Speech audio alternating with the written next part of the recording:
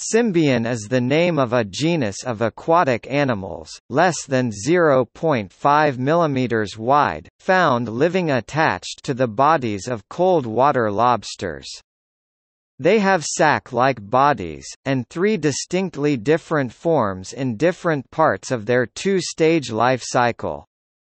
They appear so different from other animals that they were assigned their own, new phylum Cycliophora shortly after they were discovered in 1995.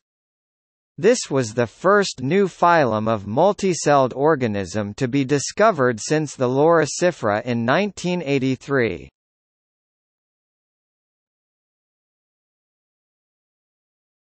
Topic: Taxonomy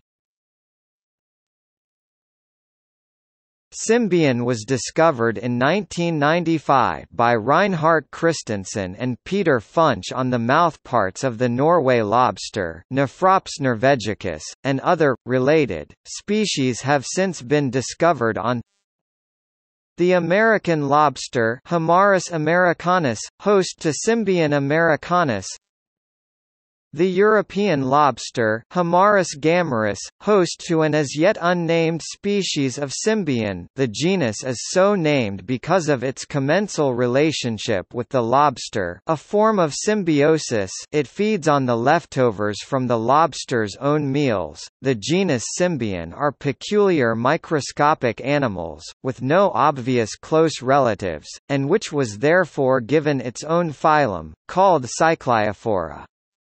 The phylogenetic position of Symbion remains unclear. Originally, the phyla Ectoprocta and Entoprocta were considered possible relatives of Symbion, based on structural similarities.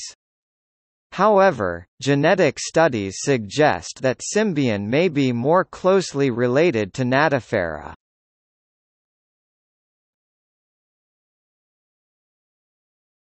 Topic: Description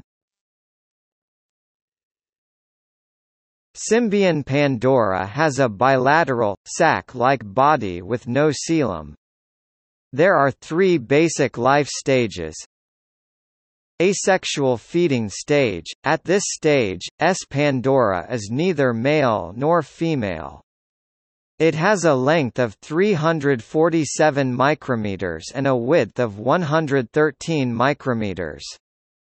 On the posterior end of the sac-like body is a stalk with an adhesive disc, which attaches itself to the host. On the anterior end is a ciliated funnel mouth and an anus. Sexual stage Male, S. pandora has a length of 84 micrometers and a width of 42 micrometers during this stage. It has no mouth or anus, which signifies the absence of a digestive system. It also has two reproductive organs. Female, S. pandora is the same size as the male in this stage. It does, however, have a digestive system which collapses and reconstitutes itself as a larva.